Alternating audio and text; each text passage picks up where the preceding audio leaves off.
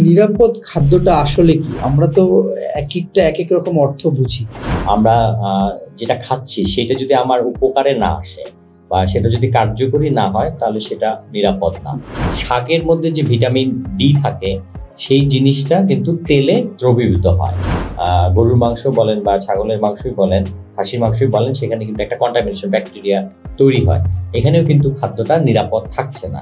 এবং একটা মানুষের বয়স অনুযায়ী, একদম ছোট থেকে শুরু করে যারা যুবক বা বয়সন্ধিকালে থাকে বা যারা বৃদ্ধ থাকে, তাদেরও কিন্তু খাবারের একটা নির্দিষ্ট পরিমাণ বা আমরা যেটাকে বলি ডায়েট বলি আর কি। তাহলে গর্ভকালীন অবস্থায় সেই নারীর স্বাস্থ্য একটা বড় বিষয় এবং গর্ভের পরেও যে বাচ্চাটা আমাদের পৃথিবীতে আসতেছে, তারও কিন্তু একটা নির্দিষ্ট পরিমাণ খাবারের দরকার।